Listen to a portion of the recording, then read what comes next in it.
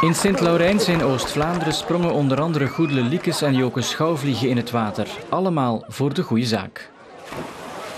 Het is belangrijk voor sensibilisering, om mensen bewust te maken dat we voorzichtig en duurzaam met water moeten omspringen en dat het belangrijk is om verder te werken aan de waterkwaliteit. Ja, water is het begin van alle leven. Hè. We gaan op Mars zoeken achter water. Hier hebben we water en we verknoeien het. Dus het is nogal evident dat uh, water is de basis en het begin van alles. Ja, ja, ja, ja, ja, ja, ja, ja, ja, ja, ja.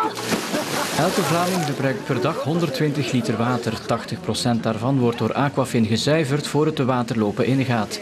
Maar 20% gaat dus ongezuiverd via kleine rioleringen de beken en rivieren in.